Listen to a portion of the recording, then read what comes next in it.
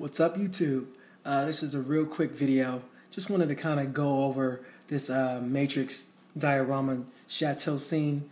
Um, kind of like a review, you know, just kind of giving you a quick little, you know, overview of how it looks and, you know, what, what you're getting for the money. And if you want to consider getting it, you know, this will give you a better in-depth look. All right, so let's just jump right into it. First, we'll just check the box out. This is the Matrix Series 1. This came out in 2003, I believe. It's the Neo, the Matrix Reloaded Chateau scene. Here's one side of the box. There's a nice picture of Neo doing a nice, the one kick. Of course, made by McFarlane Toys. Very detailed toys they always make. Not as not as articulated as like uh, let's say Legends or something like that, but the detail on these things is uncanny. Got a picture of like one of the statue scenes with the shields and the swords and everything like that. Has Neo's name. This deluxe edition features Neo and is based on a fight scene in the chateau from The Matrix Reloaded. If you turn it to the back, it just has a nice little, that same similar write up that I just read, maybe a little bit more. Shows a picture of it fully assembled, which it already pretty much comes assembled anyway. You just got to stick the figures and stuff like that. And then at the bottom, it does show some other characters that you can get individually, like the twins and Morpheus, different Neos and Trinities, stuff like that. Then on the other side, it's a bigger picture of Neo from the front, I think, doing the kick from a front view.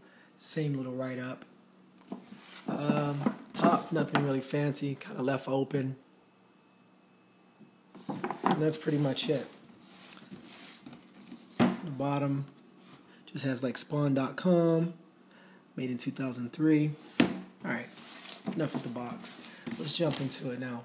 So here's the actual set once it's already taken out of the box, put together. I didn't set the other character, the vampire right here, character up. He's supposed to be flying through this. You have to take, it came with all these little plastic pieces so you can make this like it's shattered and broken, have it stretched out and have him kind of land like that. Let me back up a little bit. But I didn't want to do all that. But I did put Neo suspended in the air. And how he does that, he comes with the, let me turn it to the side. Comes with a little rod right here. Really simple. Sticks right in a little peg hole. Then it also sticks right into the back of him if you can see that. Let me see. See that? So it gives you a good little flying aerial effect. And I think that's pretty cool. Now I got this playset or piece diorama, not necessarily for the the Neo stuff. I got it more so to use with other figures like the you know legends and stuff like that. I just wanted to, to display scene, but I put this in here just to give you an idea. It does come out, of course. It doesn't have to stay there, but I think that's a pretty cool little feature. But I'm gonna pull it out for right now, uh, so you can get a better view of everything else. Um, see, it just goes right into the back like that. Check the Neo figure out. Um, of course, like I said, they're not really articulated. You do have some movement, you know, up and down in the arms. Uh, they do move a little bit, but not much. Uh, this arm goes up and down, as you can see right here, a little bit, but not much. Legs are permanently fixed in this drop kick or, you know, Liu Kang kick type position. But the detail on it, if you can look, let me zoom in on his face. Uh, no pretty good. You know, um, it's pretty amazing, actually. And just like the detail on like the jacket and whatnot, it's crazy, you know. And the same with the other one. He's already preset in this little fixed little I'm getting kicked across the room type position. You can move the arms a little bit like that, but it doesn't move out of position. You know, it's just made you know more so to reenact that scene. But if you wanted to have him like on the ground doing another scene for a filler or something like that, that's cool. Let's move this out of the way. Anyway, here is the statue that it came with. Right here, pretty nicely detailed. And this whole thing is like a hard plastic all the way through. It's all solid, so it's not like no cardboard cutout or anything like that. It's all a hard plastic. Um, the floor is hard plastic, but then it has a nice little sticker to, to simulate like a marble marble floor. If you turn right to the staircase right here, spiral steps. Let me see if I can lighten that up a little bit. There we are. Spiral steps. Uh, goes up like that. Pretty nice little feature. You can have some nice characters kind of running down here, maybe shooting some machine guns or you know, running up the stairs, fighting or something like that, or somebody, let's say, falling down like this, maybe, something like that, you know, pretty cool.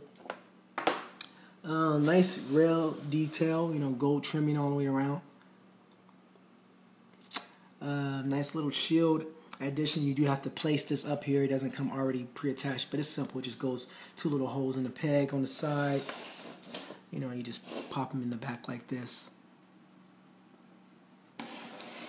Um, the swords do individually all come out, and they're, they're real simple. They just have like a little, uh, let's see if we can get a zoom in there. Focus. It's got like a little slot like thing. You just stick it in there real simple, and they all come out. It's a pretty cool little feature, I thought. So yeah, I definitely, I definitely recommend getting it if you want to just, you know, have a room to recreate a scene. This is how the back looks. Very simple. Nothing. Uh, but if you want something to put on like a shelf or this will fit probably in your Detolf. I'm about to put it in my Detolf case right now. It looks like it'll fit pretty much exactly. And if you want something, like I said, to do a nice little quick little battle scene or even like just a, a stand-up scene, if you want just to put some figures like a team or a group of people, maybe coming down the stairs or, you know, just kind of hanging around, this is definitely something I recommend. So hopefully this video helped you guys out. Uh, it was just a quick little video just to kind of give you guys a, a in-depth look at it. Um, so I hope I helped you guys out. Rate, comment, subscribe. Remember, keep collecting, and it's always showtime. Okay, until next time, guys.